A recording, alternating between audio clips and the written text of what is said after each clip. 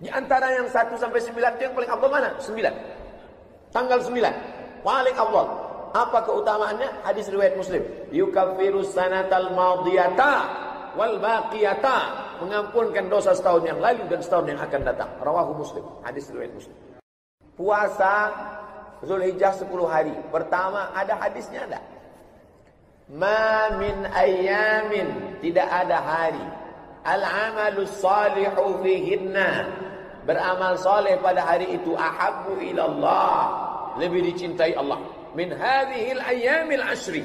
Tidak ada hari. Beramal pada hari itu. Lebih dicintai Allah. Melebihi 10 hari ini. Ini. Kapan itu? Dari sejak hari ini. Sampai tanggal 10 nanti. Itulah paling dicintai Allah. Lalu apa amal yang paling baik? Tidak ada dalam hadis itu. Nabi tak ada mengatakan ini, ini, ini tak. Tapi perbuatan Nabi. Sahabat Nabi melihat Nabi puasa. Dan Nabi pula dalam hadis yang lain.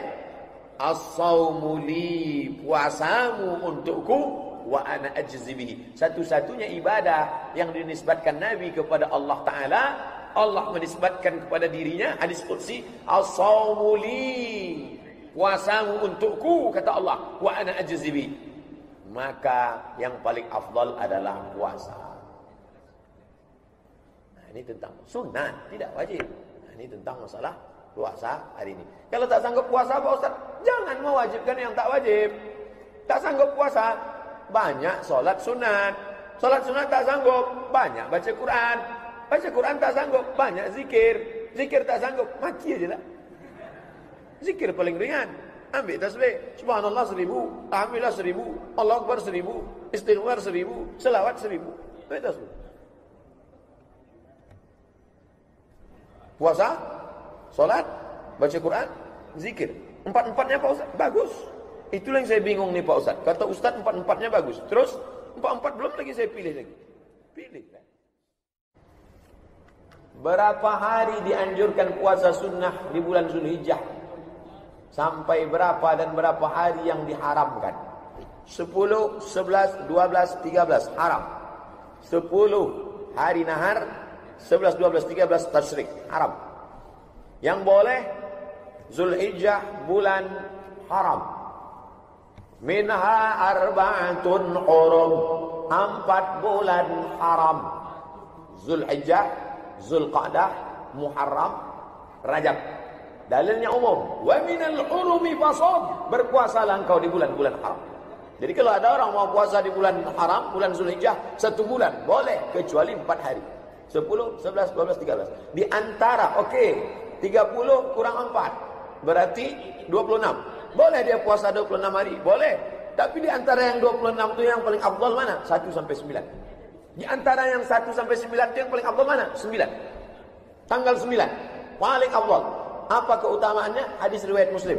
Yukaffiru sanatal madiyata wal baqiyata. Mengampunkan dosa setahun yang lalu dan setahun yang akan datang. Rawahu Muslim. Hadis riwayat Muslim. Nah, ini tentang puasa di bulan Orang yang paling tinggi IQ-nya cerdas pun kalau udah cerita utang ni banyak juga lupa. Enggak tahu entah kenapa memang begitu. Jadi antum jangan merasa cuma antum aja. Saya saya tidak lupa, cuman banyak jumpa dengan orang-orang lupa. Dulu sebelum minjam duit dekat kan. Begitu udah dapat macam nggak kenal ya. Ada orang mati syahid. Orang mati syahid itu bebas dari empat tidak merasakan sakaratul maut, tidak merasakan azab kubur, tidak merasakan hisab, langsung masuk surga. Ilat dain, kecuali utang. Orang mati syahid aja kalau punya utang tertahan. Apalagi mati konyol. Oleh sebab itu masalah utang ini jangan macam-macam. Jadi Cobalah dari sekarang diingat-ingat berapa hutang piutang, cari alamatnya. Cari alamatnya. Dulu Nah, ini cari, bayar. Sudah dicari ahli warisnya tidak ada, diingat-ingat, dibayar, diserahkan ke masalih ammah, kepentingan umum. Di antaranya masjid, panti yatim, fakir miskin. Hitung dulu. Bapak calon jamaah haji, sebanyak apa pun ibadah kalian di tanah suci, kalau hutang tidak kalian bayar, kalian akan dituntut di hadapan Allah. Menangis calon jamaah haji. Datang jumpa saya empat mata. Mohon maaf Pak Ustaz, saya malu di depan orang banyak. Hutang bapak apa? Bapak kan orang kaya.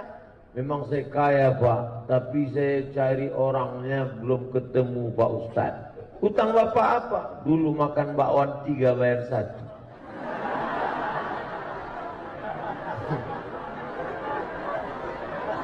Hati-hati nih mahasiswa. Bukan kalian, kami dulu. Nah, itulah bayar. Oleh sebab itu maka cari bayar kalau tidak ketemu maka dihitung ekuivalen berapa itu lalu kemudian diserahkan ke masalih ammah kepentingan umum untuk umat serahkan ke masjid. Assalamualaikum Pak Ketua Masjid. Ya, ini ada uang. Uang apa nih dek? Terima aja lah Pak yang tanya-tanya. Jadi nggak perlu, jadi nggak perlu akad. Saya bayarkan akad utang Mbak Wan selama tiga tahun SMP tunai. Enggak perlu. Wallahu alam. Assalamualaikum Ustaz, saya ingin bertanya. Ini mahasiswa kelihatannya apabila sudah ada jodoh boleh sah? boleh apabila sudah ada jodoh yang ingin segera menikahi saya dan menikahnya di tahun ini tetapi keluarga besar saya menyuruh nikah tahun depan. Apa yang harus saya lakukan? Lebih baik mendengarkan keluarga besar atau segera menikah. Lari maksudnya demikian Ustaz. Apa hubungan jodoh sama ekonomi?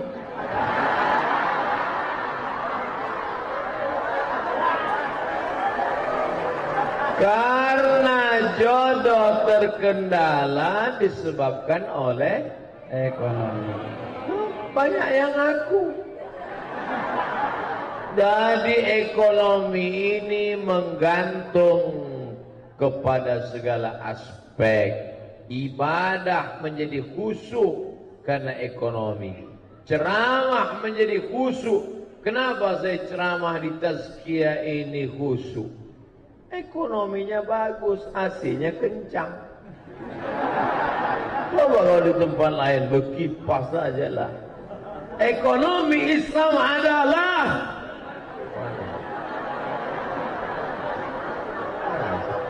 Tapi di sini Masya Allah Di sudut-sudut ada AC Hebat Hebatnya lagi AC-nya nggak kelihatan Karena dimasukkan ke dalam dinding Dasar Kenapa acara ini bisa diliput di seluruh dunia bisa melihat? Karena ekonominya mapan, kameranya besar-besar. Di tempat lain saya ceramah, Hmm. Sini nggak ada kamera. Walaupun nggak semuanya hidup.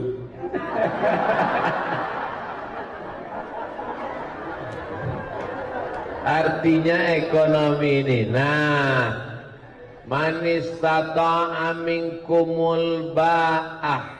Coba tengok hadisnya. Manis tata amin kumul ba'ah.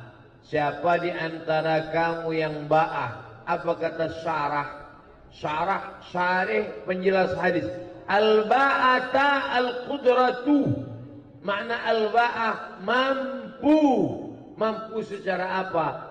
Mampu secara keilmuan, mampu secara finansial.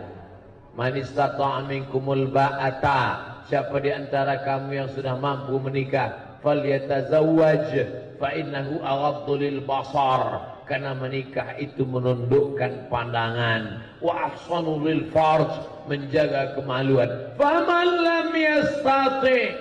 Siapa yang tak sanggup, fa'alaihi bis Banyak-banyak puasa. Jadi adik-adik mahasiswa yang belum mampu menikah, akan puasa aja dulu.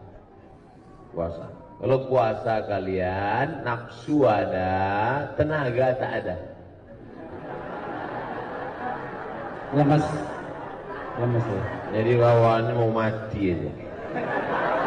Bro, bro, bro, bro. Itu ada mahasiswi cantik dari Tazkiyah. Aku udah nggak lihat lagi. Bro. Udah mau mati aja bawahnya. Nantilah habis buka baru kita cari. Nah, oleh sebab itu, kalau ekonomi sekarang ekonomi sudah mapan. Kira-kira mana yang didulukan Pak Ustadz? Apakah saya menikah tahun ini atau dengan keluarga? Balik kepada Al-Quran. Apa kata Allah? Wa amruhum surah bainahum. Orang beriman itu memutuskan berdasarkan syura. Datang ke ayah, datang ke ibu. Papa, papa, Jangan panggil papa, kita makan sambal terasi nak. Ayah, ayah, saya ada rencana nikah sekarang ya. Kau sudah punya kemapanan ekonomi, sudah mampu insya Allah ya. Tahun depan, mobil belum ada, nanti cucuku naik motor batuk.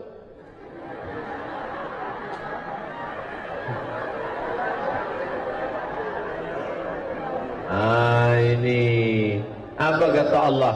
Iya kunu fuqara. Kalau calon mantumu itu fuqara, miskin, yughnihimullah. Allah yang akan membuat dia kaya. Nanti datang ke dia. Kamu mau minang anak saya? Iya pak. Datang aja naik grab.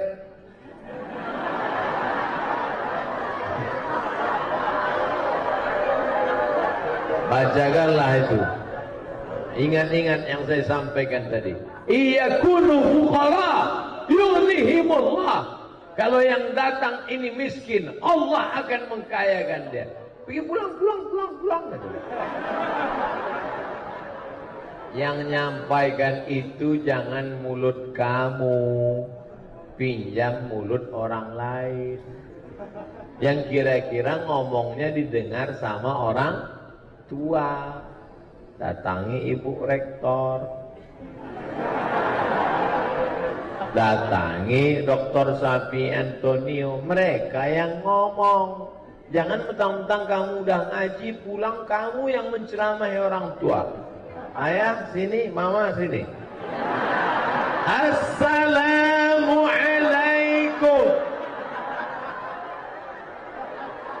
Begitu Musawarah. Jangan nikah diam-diam.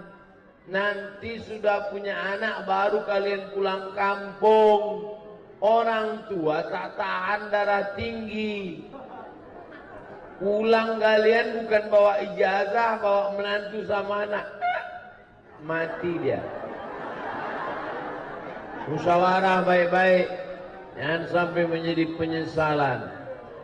Bagus kalau mahasiswa-mahasiswi mapan menikah dua-dua tercapai insya Allah. Mudah-mudahan semuanya disegerakan Allah menikah.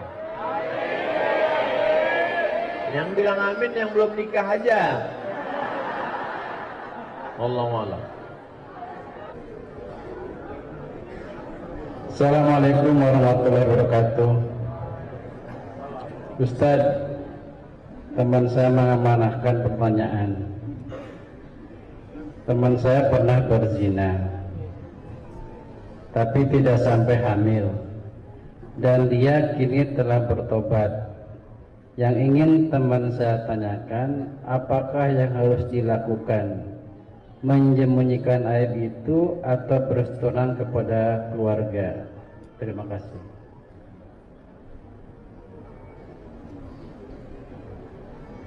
Dia laki-laki perempuan. Tulisannya ini temannya soalnya. Kalau laki-laki berzina, habis itu dia nikah, istrinya kan nggak tahu kan? Nggak tahu, karena nggak ada labelnya. Beda sama perempuan. Kalau dia berzina, habis itu dia nikah, suaminya tahu. Dalam kitab fikih dikatakan dikutip oleh Sayyid Sabik dalam fikih sunnah. Lihat fikih sunnah. Ini starata bikran. Kalau seorang laki-laki menikah mensyaratkan istrinya mesti bikran. What the meaning of bikran? Virgin. Ini starata bikran. Kalau laki-laki mensyaratkan istrinya harus bikran, virgin, fabanat faiban. Ternyata setelah nikah tidak virgin, falahul fashu. Maka laki-laki itu punya hak untuk fasah. Fasah artinya pembatalan pernikahan. Makanya tertulis di botol, do not accept if cell is broken. Makanya saya tanya, tadi yang tanya laki-laki apa? Perempuan kau laki-laki, dia tobat, tobat nasuha, selesai. Jangan kau ceritakan sama dia. Jangan pula nanti, dek, ada sesuatu yang mau kuceritakan. Apa bang? Kau bukan yang pertama. Apa?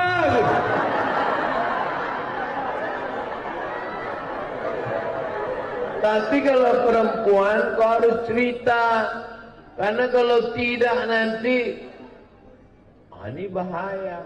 Cuman menanyanya jangan langsung pancing-pancing dia dulu. Pancing dia. Mas, ya.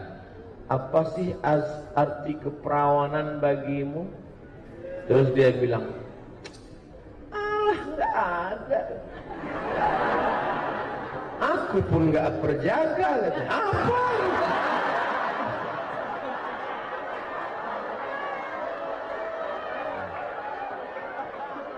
Jadi hati-hati. Kalau memang dia siap menerima, lanjutkan. Tapi kalau tidak, itu nanti bisa menjadi fasah namanya. Apa namanya? Fasah. Fasah itu artinya pembatalan.